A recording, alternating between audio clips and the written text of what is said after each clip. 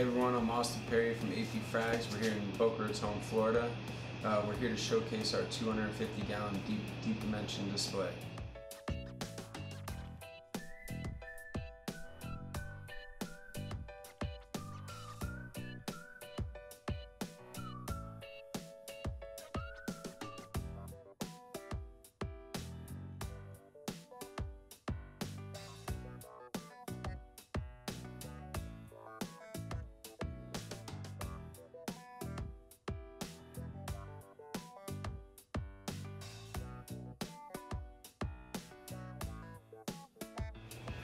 So when we first set up this tank, uh, one of our objectives was to uh, have a, a, nice SPS dominated system. Uh, but as we started to uh, move the system to its new location, uh, we started to make it more of a mixed reef, uh, adding some chalices, some favias, and a lot of softies. Um, some of the higher end zoanthids um, really caught our eye and, and attention. Uh, you know, and then our next focus was to start to add some of the more high-end fish, you know, to showcase to our some of our local customers. Uh, one of our, you know, favorite fish now that we've just added to the system is our new koi tang. Um, it's one of the most exotic ones we have in there. So this is a 250 gallon deep dimension Marineland tank. Uh, it's a five foot by three foot. Uh, it has the dual overflows. We have uh, the Haitian shelf rock was uh, one of our main focuses on the rock stack. It, it was gave us the best uh, caves and shelf structure that we were looking for to be able to showcase the corals and allow the fish to swim in and out of the reef. We went with a sand bottom instead of a bare bottom, allowed us to add some of the wrasses and other inverts to the system. So this system we wanted to really focus on making it more of the uh, higher end or unusual style tank, showcasing some of the, you know, the world's most high-end corals, uh, your bounce mushrooms, uh, some of the chalices, SPS, really unique favias. We got a really wide selection of, uh, of different corals in there, some rainbow acants, wasanis, you know, a lot of unusual things that you don't see uh, all the time come in. Another, another coral that we have in there uh, is the, the dendros.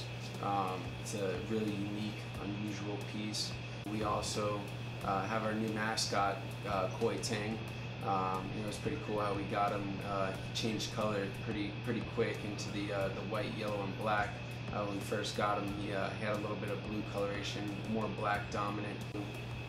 Throughout the system, his colors have started to change. Um, very unique fish, uh, you know, to, to have in the system.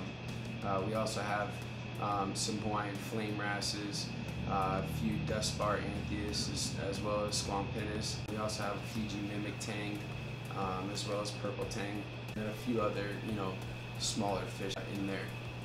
So we come across a lot of corals uh, from time to time uh, as we collect um, and one of our corals that uh, we definitely like to, to collect is uh, the Leptoseris. Uh, it's very unique in its coloration and growth. The, the, pattern, the way that it encrusts over the rock uh, is probably one of the more unique corals that you don't come across as often as some of the other pieces. The Jason Fox, um, a lunar lepto, the Jason Fox, Jack Lantern, you know, one of the originals uh, that came out um, that he found. But uh, it, it's just one of those unique corals that uh, you don't see very often that continues to pop up with different colorations. Uh, this system uh, has been set up for close to eight months now.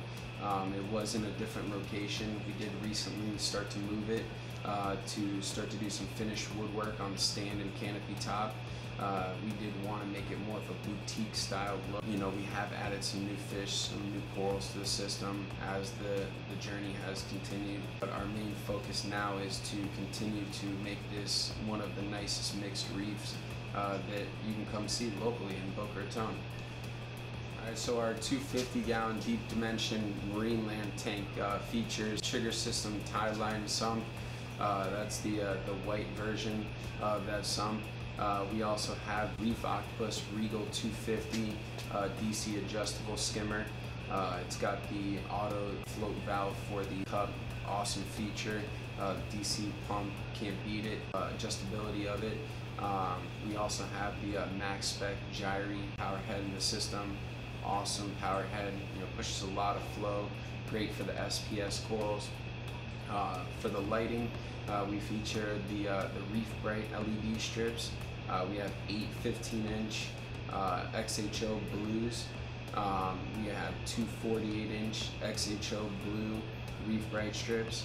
Um, and then our main lighting is the uh, T5 Tech Light 8 bulb.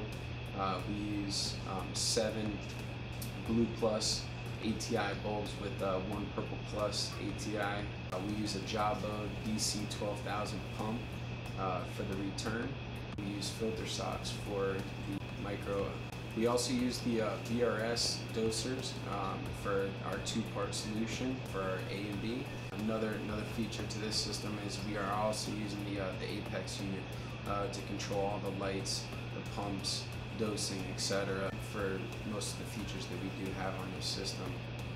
So we also have a really cool feature uh, for the tank. Uh, we use a, uh, titanium heater, um, something that we really truly, truthfully recommend to uh, a lot of our customers. Uh, a lot less uh, failure with the glass heaters that you see sometimes. so just some tips that we have here for anyone that is trying to accomplish a mixed reef. Um, you know, try and keep it simple. Um, you know, we run a, the biggest protein skimmer that you can possibly put. Uh, we also recommend, you know, try and get the biggest filtration setup that you can possibly fit underneath. Uh, provide some good flow, uh, good lighting. Uh, we highly recommend the T5 light. It's one of our primary uh, lights that we use here in the shop. We do recommend the Reef Brite strip if you're trying to get that nice color pop. but ultimately, you know, test your, your aquarium. Uh, constantly test your alkalinity. You know, it is one of the most essential elements to uh, test in your system, and, and definitely dose. You know, it's uh, it's something that will definitely improve the uh, the growth uh, and overall uh, health of your corals. Once again, this is Austin Periu from AP Frags. we'd like to thank you for checking out our 250 gallon display. we'd like to thank Richard for coming on out and videoing our systems. Uh, if you need any help or have any questions about uh, setting up your next mixed reef display, uh, you know, contact us at Facebook or Instagram. Uh, also my email, apfrags at gmail.com.